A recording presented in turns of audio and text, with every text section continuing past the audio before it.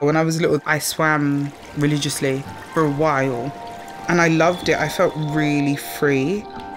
When I learnt some of the really deep rooted history with blackness and swimming, it was weird to me because I didn't fit that. Culturally, I want her to feel comfortable with the water because there's so much power in us as black people not being afraid of water.